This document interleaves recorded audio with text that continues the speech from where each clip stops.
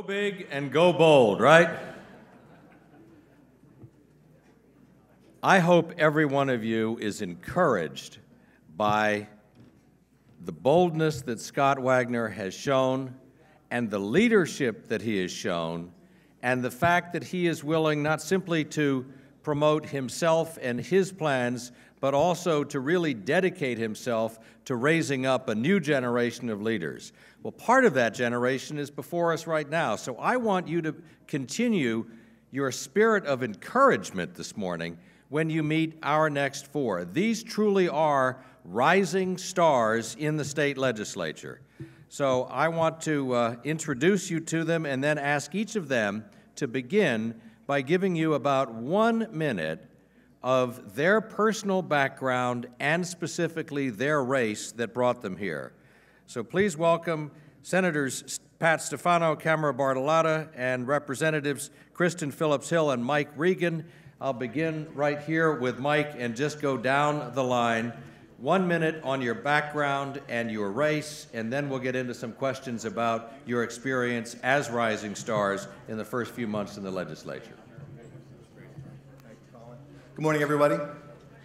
My name is Mike Regan. I am a retired United States Marshal retired in 2011 after 23 years of service. Um, I live in the 92nd district. I'm a rep there, and Scott Perry was my representative before uh, I retired. And when the dominoes kind of fell where Todd Platts decided he was going to seek, uh, or he was not going to seek reelection, and Scott moved on, uh, I saw an opportunity. It was interesting for me because I was not really a, a political guy. I was a law enforcement guy, and I was Hatch Act constrained, so I wasn't even really allowed to be part of the political process. So I went in as kind of a rube, and I think that was a, a good thing for me because I, uh, I brought my old school work ethic to the, uh, to the race. And instead of trying to win the race by talking to lobbyists in Harrisburg, I went out and knocked on 10,000 doors, and uh, I think I won the trust of, of the electorate. So it was, a, it was a kind of a brutal primary. There was five of us, and uh, at the end of the day, I won by, I think, 16 points, uh, put me head-to-head against the Democrat, and thankfully, thankfully for me, I'm in a very Republican district. So I think the race was really won, won in the primary. I live in um, Carroll Township with my lovely wife Fran and our four great kids, and um, it's been a remarkable experience so far. I just entered my second term, and uh, I look forward to continuing on. Thank you so much.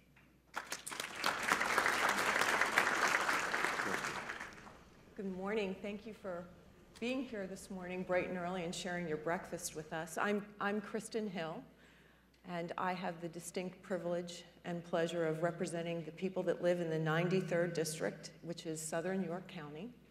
Um, I replaced State Representative Ron Miller, and um, I was the unintended candidate. I never really intended to run for the legislature.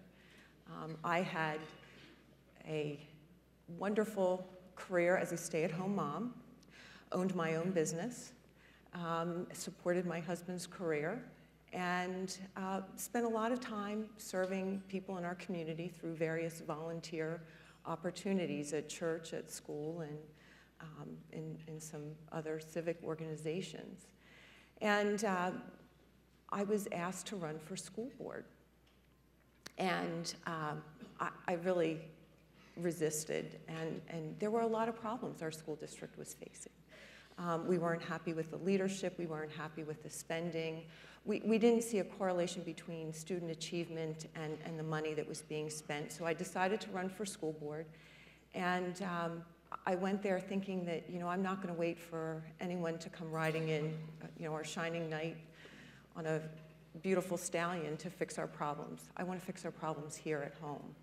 And we, we achieved that. Um, we didn't raise taxes during my tenure as a school board director, but I, I really began to see that there was a correlation between our spending problem and what happened in Harrisburg. So uh, a series of rather unusual events led to the uh, opening of this House seat. And um, I decided, if not me, then who? The gentleman who was running had run previously. I didn't think he had the, the answers or the solutions to, to what we're facing. So um, I, put, I, I, put my name on the ballot. And uh, I knocked on many doors, not quite as many as Representative Regan, but enough doors to know that um, what I was feeling and what I was sensing, the, the people who live in the 93rd district agreed with me.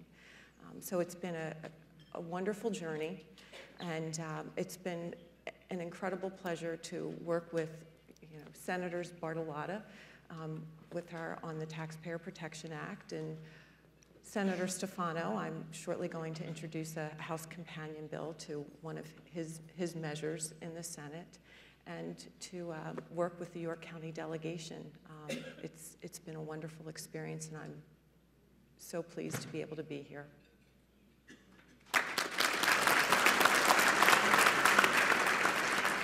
Good morning. I'm Pat Stefano, and uh, Scott Wagner, what you said. Actually, um, I'm a third generation uh, printing company owner. I come from Fayette County.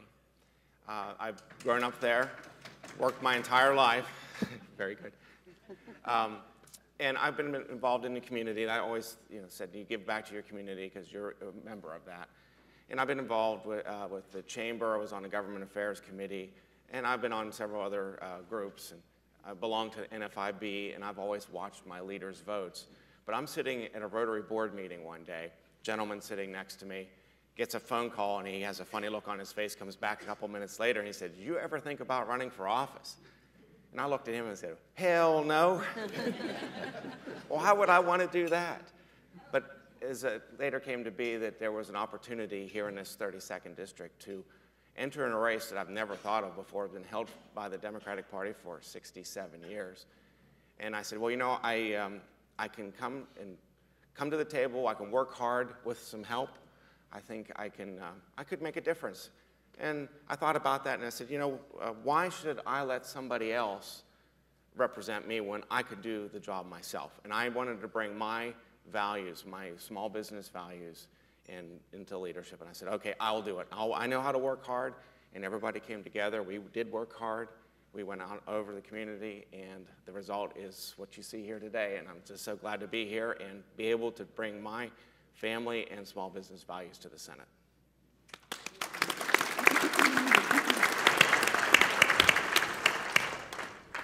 I'm Camera Bartolotta. I'm the state senator for District 46, and I have to thank our wonderful, very shy and retiring wallflower, Scott Wagner, for helping me.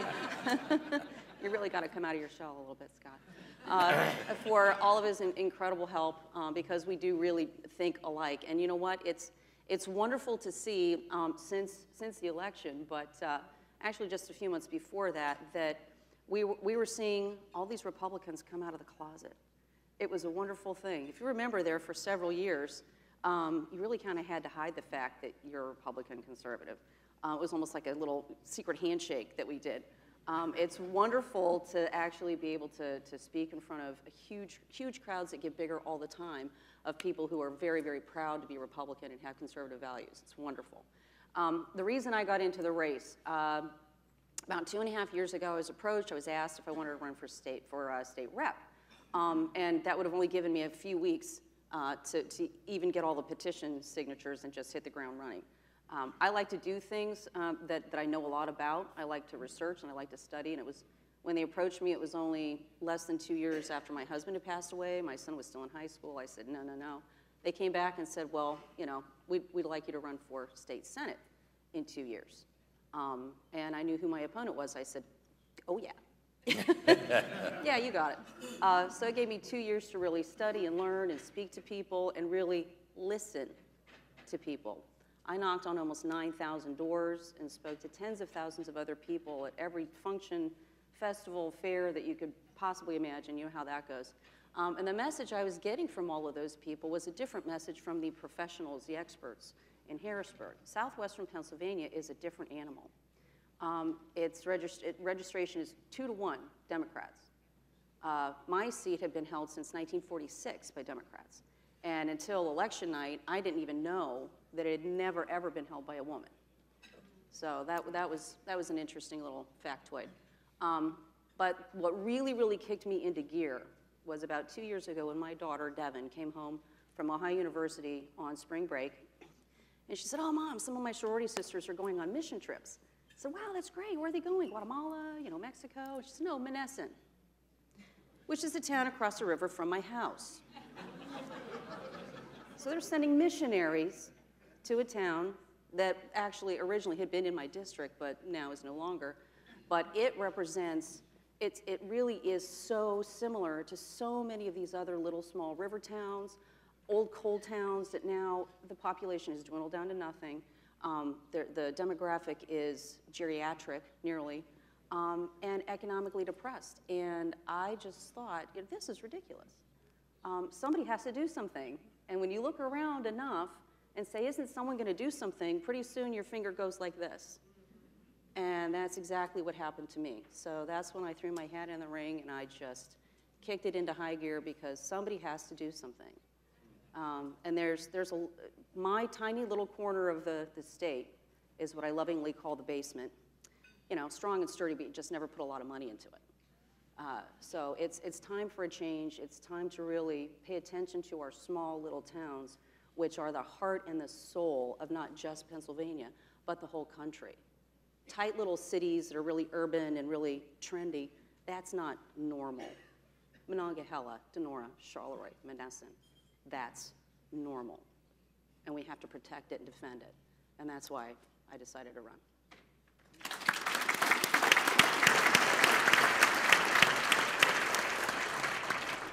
I think you're properly characterized as rising stars for the very values that you just uh, summarized in, in talking about your personal stories and your races. And uh, before we get into Q&A, I think our room here would like to express our appreciation to you for your boldness in truly fulfilling the founders' dreams of what a citizen legislator are supposed to be all about. So let's begin with that.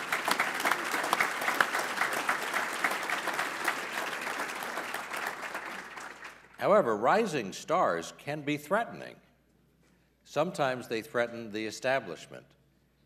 Talk to us about how you've dealt with the balance between being a freshman member in a body where seniority carries so much weight.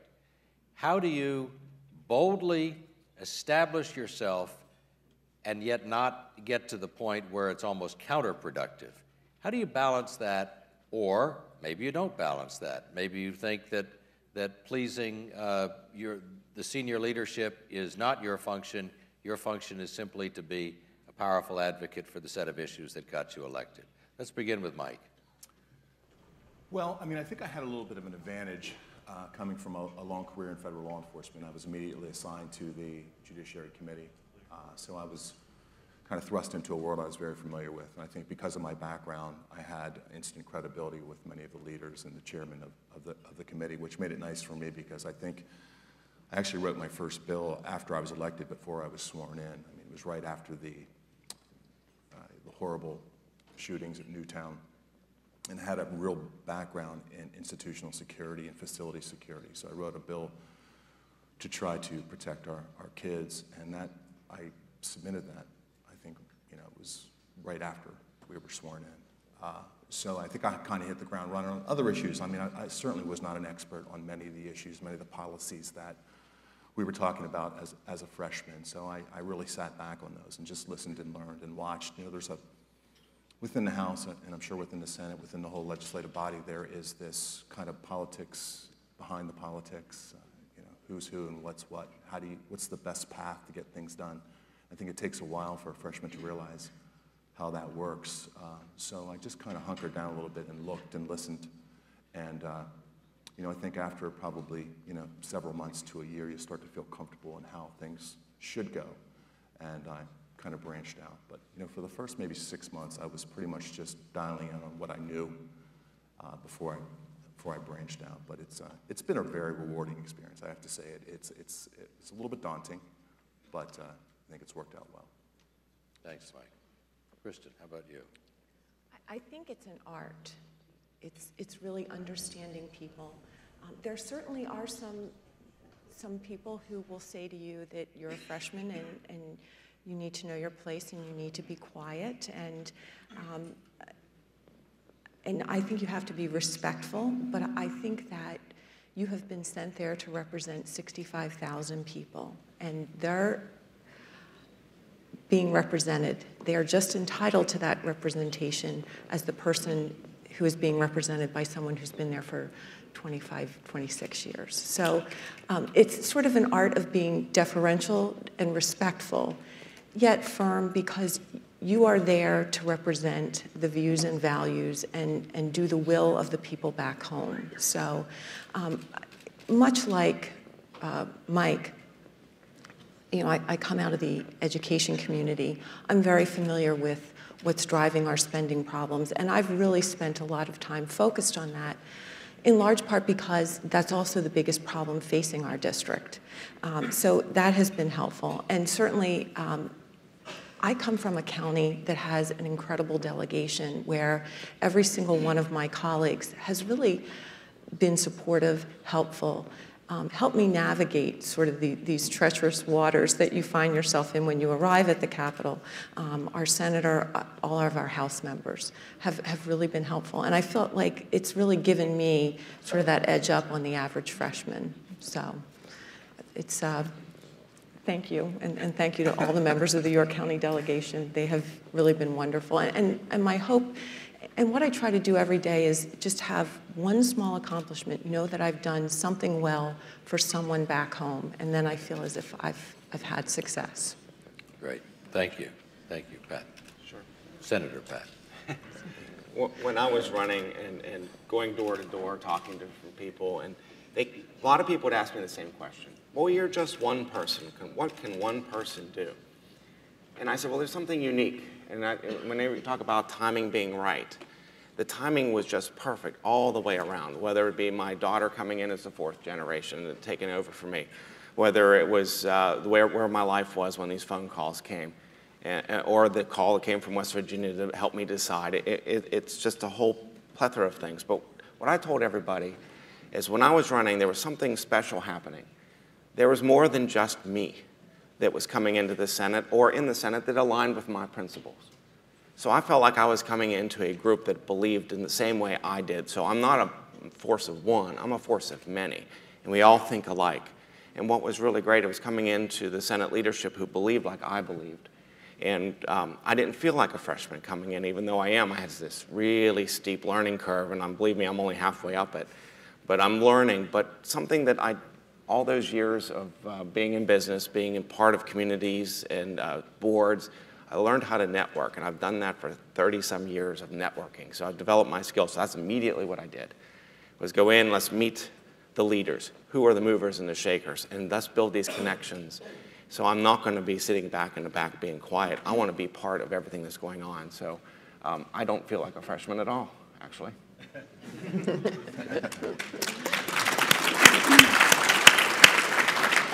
very, my experience has been very similar to Pat's. And uh, what I've always done um, with any project that's ever been before me was you just hit the ground running.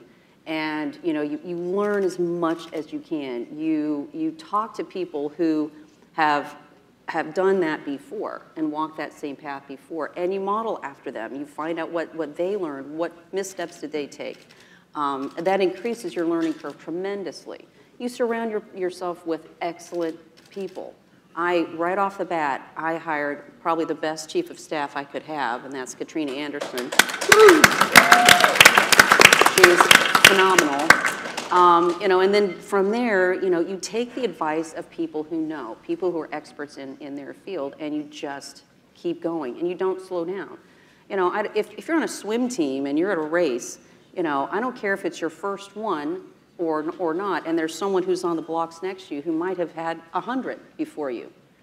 You don't let them get a tenth of a second in front of you. You give it all you've got the whole, the whole way down the lane. And that's exactly how I feel that, that, that you know, me and my team have, have, have done things. Um, and it really is a team. You know, I don't think any senator can do things really on their own.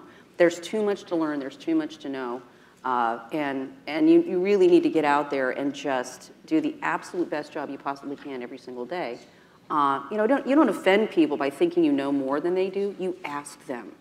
You ask them for their advice. You, you, you listen to them. You watch how things are done, and you, you catch up, and you keep up. So let me just follow up and we'll go to, in the reverse order. How do you decide how to make an impact as a freshman in an institution where you're often told that your first term is all about learning the ropes and understanding the complexities and how bills are written and Mm-hmm. those people down in the basement that take perfectly simple ideas and convert them into virtually inscrutable language, all of that sort of stuff. How do you blow that stuff aside and make an impact as a freshman? Well, I was married to a lawyer for 22 years. So- Yeah, you, you learn the whole lawyer speak, and you just have to go, okay, you know, this sentence is useless, and you get down to what, what starts out as seven pages to, okay, it's a paragraph and a half, now I get it. Uh, you know, you find people who can really, you know, interpret that for you uh, and, and move on. Uh, but uh, it's, it's just, uh, as, as a freshman, um, as you said, you just do the very best you can and, uh, you know, learn from people who know um, and learn how to read the bills. And, and one of the best things I did, and when they came to me and asked me to run, and I said, no, I need time, um, those two years that I took, really learning everything I could possibly learn, talking to people who were, were doing, you know, what, what I wanted to do and doing a really good job at it. The people who really don't have such a great reputation, you don't really talk to them about how to do things. Uh, you know, you learn what not to do as well. Uh, so, so it was, that two years for me really was an intensive graduate program, if you will, on, on being a state senator. So that prepared me really, really well So studying helps? asking, talking, listening is a big thing. I always tell people you've got two ears and one mouth and use them exactly in that, you know, uh, percentage. Um, but you talk to people and you listen to people and you know what their issues are, what their needs are, what their concerns are, and then you find a way to, to help them out. Senator Stefano, how would you, how do you plan to make an impact as a freshman? Well, as, uh, as you know, when you go into something completely different that you've never done before and you don't know too much, and as any leader will tell you, you surround yourself with people who do. So I immediately hit the ground running and built a wonderful team that knows the inside and outs of everything here in the Senate. And that was what's important to me, is they can help filter and feed me information that I need to help make the decision. And we work together as a team. Uh, the one thing I always in that, even all the way through business, I, I heard this. People say, well, that's the way we've done it. I don't want to ever hear that. I don't want to hear what they've done before. That's the past. We're going to do something different this time. So, um, just like Cameron said, my grandmother always used to say this too. You know, God gave you two ears and one mouth. Use them in proportion. And um, so I'm always listening to see what the issues are. Then I go out to the experts, my uh, staff, and say, this is what we need to do. And we're always working together as a team. And uh, crafting whatever we need to do to represent our area the best. Well, I have limited my term. I believe in term limits. I said I will not serve longer than five terms, 10 years. So one of the things that I like about that is that I don't feel like I have the time to sit back and just wait for things to happen. So it's a lot of learning. Um, every night, uh, to the point where my husband is probably ready to send me to the guest room because I'm on that iPad researching issues. I serve on the health committee. I haven't had a lot of experience in the healthcare community, so I am constantly reading and learning and and it's also making relationships, relationships with people who you feel share your values and, and the values of your people back home that you can rely on to give you good information and good direction on things that you're not an expert in. It's also about building a great staff. I am so blessed and fortunate to have an incredible group of people who have who are working for me. I, I have a retired naval officer who has a PhD, owned his own business, moved here to be near his grandchildren, and he is an incredible mind and so very helpful whenever I have to dig into issues deeply. Um, and I think you have to, it's, it's almost like triage. You have to take what you've learned from your people back home about what their greatest issues and their greatest problems are, and you have to prioritize them based on what is going to help them the most. And, and I think that really helps keep you focused. Um, you're, you're almost like a racehorse. You need to have blinders on and head to the finish line. Well, Colin, as you know, I am starting my second term, so I am way more experienced Right. and worldly than my colleagues. Senior on this stage. Uh, you know, what I was really surprised, not really surprised, but I was pleasantly surprised, was how good the, the staff of the committee, the committee staff and the, and the Legislative Research Bureau are. When you're drawing, when trying to write a bill, uh, they'll come and sit with you and listen to everything, and literally, very quickly, a couple days, you'll get a draft, uh, and you can go through and, and line out what you like, or you know, keep what you like and line out what you don't like, and uh, and they're so helpful. It- it- It's just really, really amazing to me. I remember when I was writing that school security bill, um, you know, very, very scrutinized language went into that bill, and I sat with uh, the ED of the Education Committee for hours on end. And, uh, you know, he was a guy who was very experienced and uh, was uh, with Senator Piccola in the Education Committee in the Senate for many years. And I know he was probably getting tired of hearing me talk, but couldn't have been more patient and more welcoming uh, to a freshman member when I was writing that bill. So there is really, really good staff. And then, as everyone else said, our, our district staff and our office staff are all very, very helpful. It makes it, it makes it easy. You know, it's really not rocket science. It's just bearing down, finding something you believe in, something that's, I think, good, will benefit the people of Pennsylvania, benefit your constituents, and just uh, press forward. Um, I think you're un, you're unlimited in what you can do and what you can achieve if you just buckle down and work. So it's been a wonderful experience. Thank you. What kind, you, you each spoke about your races and how you connected with your constituents, knocked on as many as 10,000 doors. Now that you're in office, what's the most effective way of staying in touch with your constituents? In particular, what kind of constituent communication do you find most useful? Is it best if a constituent visits you in your office, in your district office, sends you a fax, sends you an email, send, uh, calls on a, on a pending bill, uh, face-to-face at a rally? Which, which are the most effective means? And particularly for folks who are involved in grassroots organizations, as many of the people here at the PLC are, what is the best way for somebody who represents not just him or herself as an individual, but an entire uh, group of people? What's the most effective communication that really helps you? Um, Actually, email is the very, very best thing. Um, In particular, so that we can disseminate it to the right other staffers that are experts in that particular field. Um, I honestly, I have gotten so many constituent issues and things as Facebook messages. Um, I have a huge presence on, on Facebook. Uh, I have my own private, well, it's not private anymore, but it was my own personal account that I, I turned into, you know, just kind of open to the public, really. But this, my Senate page, I've got over almost 1,700 likes on my Senate page, and we just started that just a few months back. Um, Twitter, uh, you know, uh, social media. And on my web website, people can click on and get the e-newsletters. They can contact me through that email. Um, but really, email is the best way, and we actually respond in kind. If someone emails the office, we respond via email. If they call the office, we respond with a phone call. If they write a handwritten note, we hand write a note back to them, um, and then request that they communicate via email because it's faster. Um, it's easier to disseminate that information, and it's easier, easier to respond immediately. And in my office, when we get a phone call or an email request or something for a meeting or an event or appearance or anything like that, my staff knows respond to that request within 24 hours.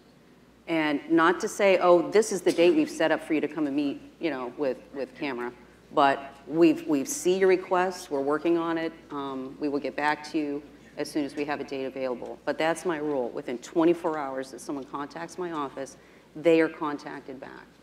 In our little conference call that we had prior to this, just to get organized for today's panel, um, you mentioned what you just cited, which was that you respond in the form in which you were contacted, email to email, phone to phone, handwritten note to handwritten note.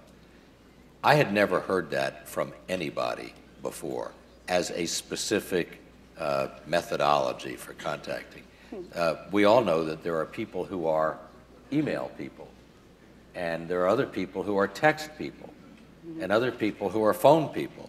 And sometimes you contact the phone person by email and you get no response whatsoever. Or if you do, the response is, call me about this. Right. I think your idea of responding in the same ma- manner in which you were contacted is absolutely brilliant. And in my experience, I never heard of anyone who was quite as sort of uh, uh, decided and almost formulaic in the way you've done that.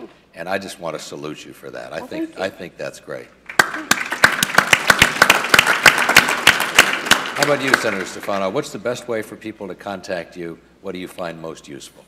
Well, I have to say that we uh, come from the same school because we respond the same way. You know, the same channels.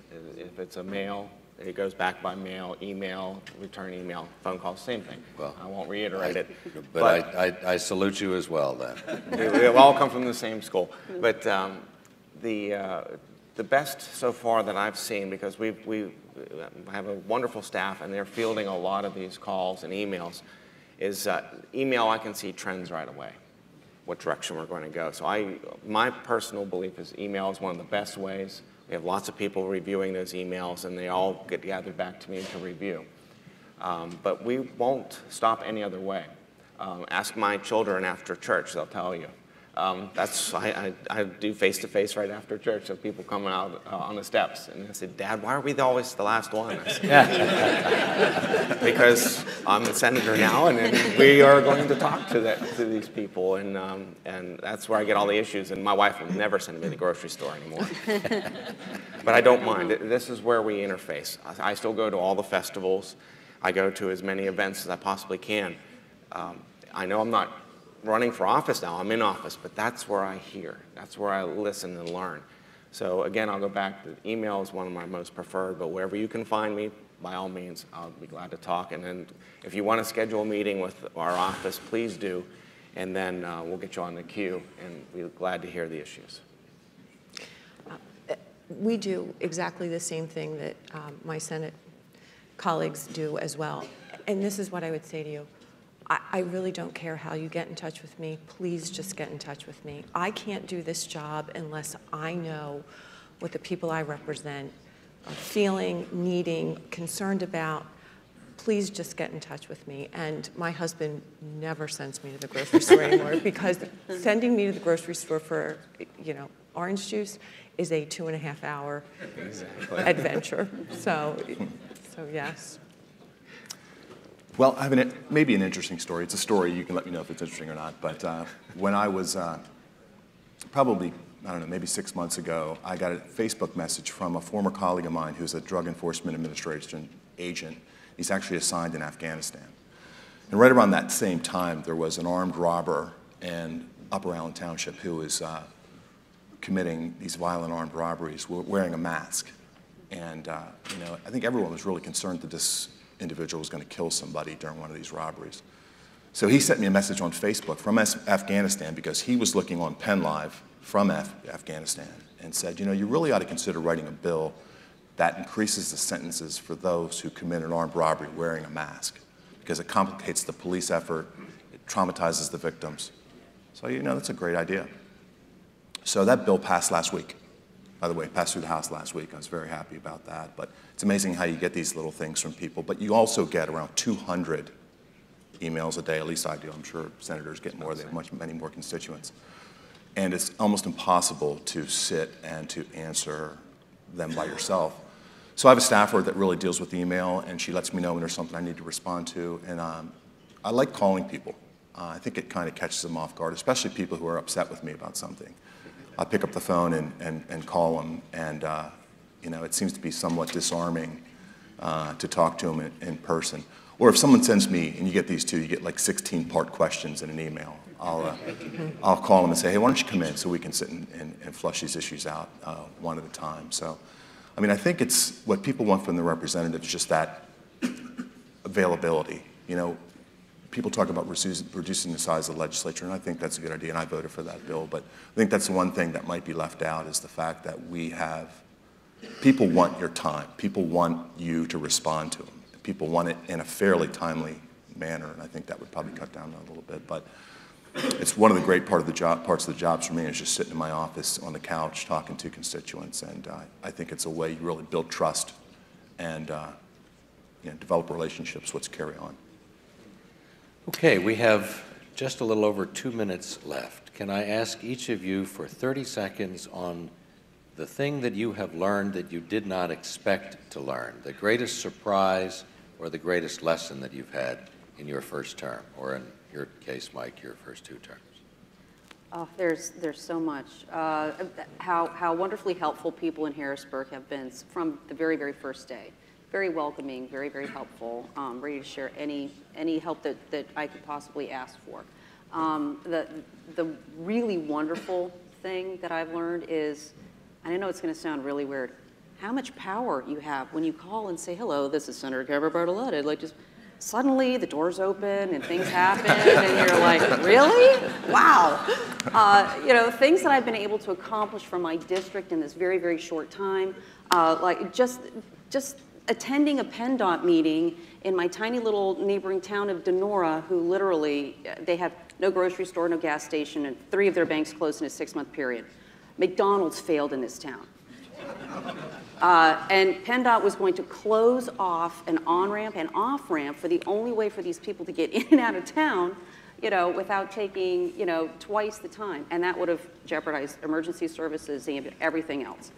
Uh, you know, so I went to this meeting and, you know, I'm sitting there and PennDOT's like, oh, well, we'll do anything that we, we can and we're going to leave that open and we'll do, you know, we'll work with you and we'll make sure that we don't close this up. And I just thought, thank goodness, you know, that, that someone's actually taking a look at an issue and, you know, that would otherwise literally be a nail in a coffin to this town. And just, just by being there and noticing it, paying attention and participating in the discussion, you know, this town now has, has a way for fire trucks and ambulances and, and buses to get through. Good for you. Thank you.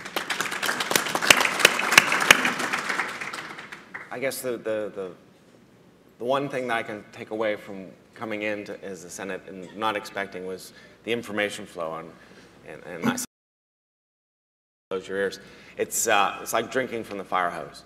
So much information is coming at you, so much to read, so much to learn, and it's also very important and we all work together to handle that. That is one of the biggest things I learned. And the other thing I'm learning now is who do you go to? Who do you talk to? Who don't you go to? Yeah. Those are the biggest things. Where are the traps? Where are the landmines? So you know where to step and where not to step. That, that's the biggest thing that I've learned. And I have to echo your same sentiments. Is um, now when you pick up the phone and make a phone call, all of a sudden the door's open. and it's, it's important. I, and I'll echo the same PennDOT issue where in my township, Bullskin Township, there was ice buildup on the road. And for all winter long, people were worried about head-on collisions. They're trying to go around this ice. And no one would do anything about it. They called the office and boom. Half an hour later, PennDOT was there and uh, de-iced the uh, area and fixed the water. So I said, Well, I like being, bringing that. you don't by any chance have any potholes in your district? No, none whatsoever. I post pictures of them on Facebook. That's it. That's great. That's terrific. We're just a bit over time, so I'm going to ask you to be concise. I will, I will be very concise. I, I think there's this sentiment that uh, people in this institution don't work very hard. It must be really nice to just work three days a week in Harrisburg. And, and I think that's, if I could dispel the myth, these are some of the hardest working people I have ever worked with. Um, it's transitioning to being a legislator from being a full-time parent. Being a full-time parent's a 24-hour job. Being a legislator has become a 24-hour job. Um, and, and, I know that we've talked about this amongst ourselves in, in York County. Um, I, it's not unusual to put 80 plus hours in a week in this job, whether it's being in your office, being with people, doing your research. Um, we are always on the job. Just to amplify that a little bit, I, my first year in office, uh, I heard from a couple of different people along the way, how you enjoying your part-time job? And I thought, my, my God. So the second year, I, I had my staff keep track of my hours, and we did the math after the end of my second year, and I made $4.58 per hour. so way below the minimum wage. So I think that's one of the things that's, uh, and I think I was a little dubious about, uh, you know, about that going in. I didn't realize. And the other thing is, you know, I, at least in our Republican caucus, I can say that there's a really tremendous amount of really dedicated individuals. And you see a group of guys huddled in the back of the house, and you think they might be talking about the Steelers game, but they're actually talking about pension reform. So I think we're lucky, uh, and I think they're maybe under heralded for the for the dedication and work they do. Well, as an Eagles fan, I'm glad to hear they're not talking about the Steelers game. I hope. See, now, now we can divide the road. quite, quite seriously, I hope we are all encouraged by the quality of representation that these newly elected members of the General Assembly provide. Thank you for sharing your time, experience, and passion with us this morning. Thank you.